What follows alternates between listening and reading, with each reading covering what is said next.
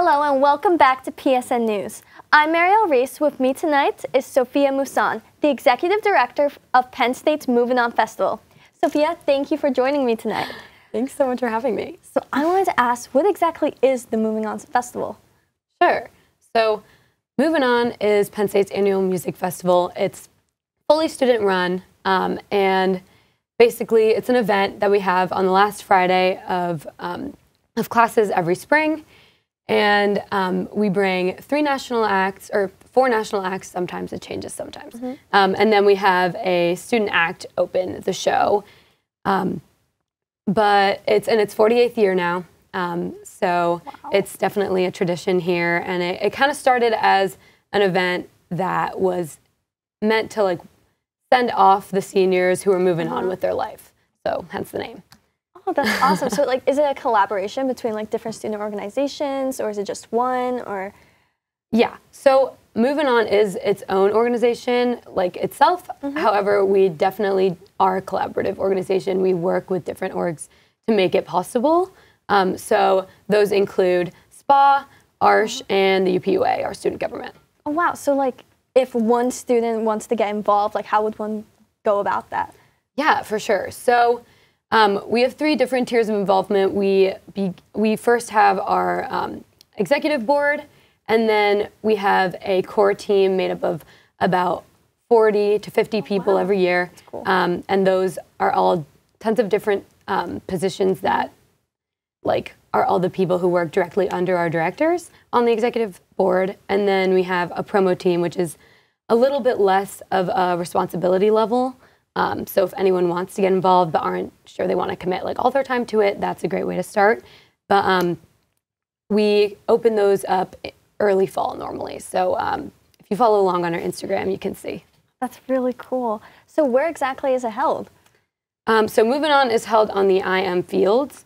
So it is an outdoor event, um, but we are rain or shine. So, um, so. So wait, if it rains, are like people coming out there with like umbrellas, or? You cannot bring umbrellas, but you can bring like a poncho. We have that type of thing, but um, we do monitor weather. So like if mm -hmm. anything were to get dangerous, like in terms of thunderstorms, like yeah. then um, like the correct messages would be sent out for people to evacuate. But sure. if it's just raining, yes, we do continue with the show. Oh, that's awesome. So like, how does any our students buy tickets? So movin' on is actually not a ticketed event. Oh, um, oh, wow. It's free for all students. That's um, great. yeah.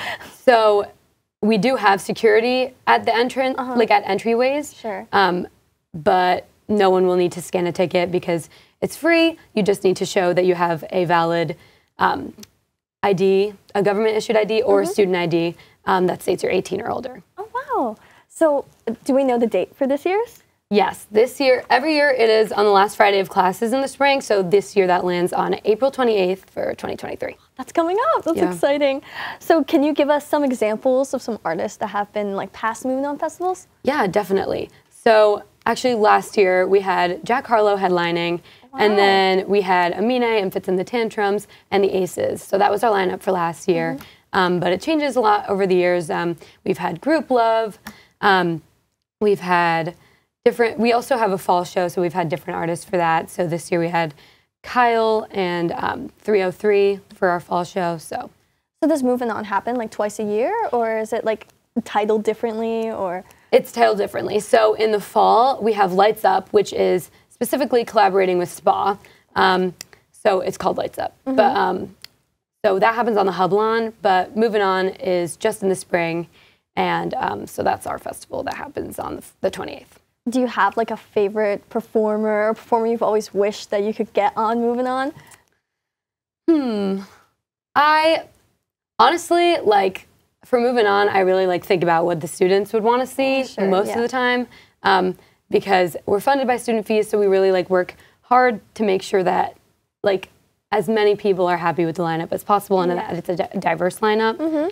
But as for some of my favorite artists, Miley Cyrus, um, I love Paramore. Um, yeah. Is, is there like a good chance we could like get those? Maybe not on this movin' on, but like potential future ones, or like how does that even work? Like getting like big time artists like that, you know, come onto the festival. Yeah. So I have to give big props to our middle agent. Um, we work. Our, his name's Brett Pasternak. We also worked with mm -hmm. uh, Dave Stevens in the past, but they help us a lot when it comes to having those connections in the industry with different artist agents.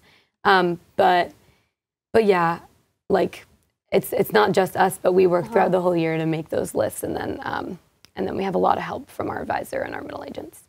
Really cool. So I was like on your website the other day, and it looks like there's a bunch of different events itself that go into the festival. Could you talk a little about that? Yes. So we are an organization that functions throughout the whole year. So as we as movin' on is an event that takes like over a year to plan for the next one. Mm-hmm. But um, as the year goes, we have events like our Spotlight series, which is um, a way to like promote student acts or give per, um, students performance opportunities throughout the year in the hub. So that's one thing we do. We also have Battle, which is happening on April 4th this year.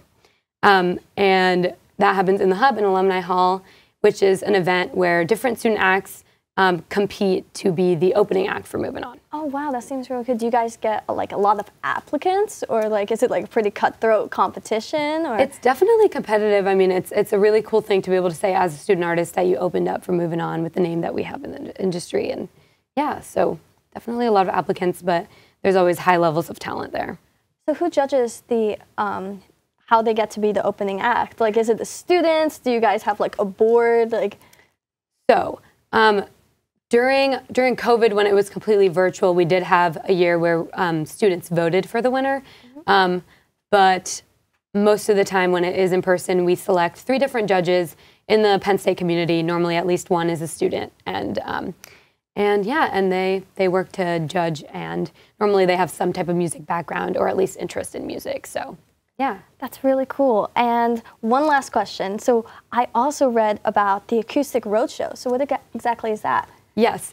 So um, Acoustic Roadshow is um, a program that we have that brings, again, we, we work really hard to promote student um, artists and performers throughout the year because that's kind of one of our goals to be able to give them a spotlight. But um, Acoustic Roadshow brings those student acts that apply into the dining halls oh, um, wow. to like provide some live music for anyone who's eating or doing work in there. Um, and also as just a means to promote our festival uh, throughout the year.